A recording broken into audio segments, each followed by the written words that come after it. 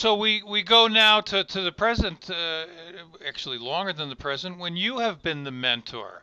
You have been working, going with students. You formed uh, the International Schools of Jazz. I mean, you've uh, you know you've been a major force in jazz education. So when you go into these situations today and you work with kids now, how do you mentor them? Is it like do you do you play with them? Do you criticize them? What's the? I know there's a lot of different ways this It's works.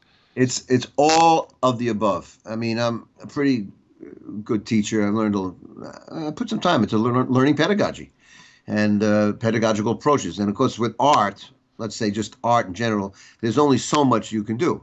You can give certain amount of facts and figures and schematics of how to do things. Uh, you can't really teach creativity. You can instill and inspire, and that's your, your main job. But of course, you critique, you uh, stroke, uh, you play games, you act, you're a comedian, you're you're playing. It's a set, it's a performance. Teaching is performance. I mean, when it's certainly when it's a class. Now I'm going, for example, tomorrow. I have a 10, 12 hour day tomorrow. I leave here at about 8:30 in the morning, Pennsylvania. I'll get into Manhattan School Music by 10:30. I go 11 to 3 with my first year master students, 3 to 5 with a special edition master class I do. It's going to be rhythm section interaction with soloists, and 5 to 9 with second year students. So I have like, by the time I drive back, it'll be, you know, 12, 14, 15 hour day. I do it once a month. So in a lecture situation, that's 25 to 35 students in each of the class. A lecture situation, obviously, you're really on, you're doing a show in a way. I mean, it's like set one, set two. You know, how do you go up? How do you go down? How do you make excitement? When do you give breathing room?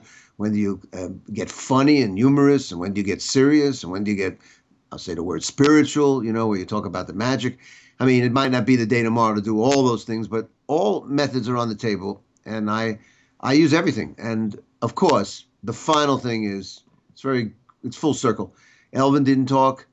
I played with him. I learned so much I can't even tell you that's the final bottom line when somebody plays with me. Now, of course, not 35 students aren't going to play with me. But as I tell them, I say the best experience you'll ever have is when you play with someone who is ahead of you, who has more experience, has things down, has been there before. You get on the stage with somebody like that, you know, it's incalculable and it's beyond words what you learn.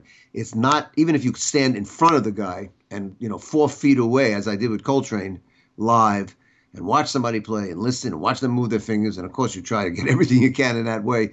There's nothing like standing side by side with somebody. It's almost a physical thing. And of course, that's the ultimate learning tool that I have, which is when I play. If, you know, as I've mentored people like you know Bill Evans and other people like that over the years. I mean, they you know played with me, and that's something. Then there's nothing to say really after that. That's the final, the final act of the show is let's get up and play.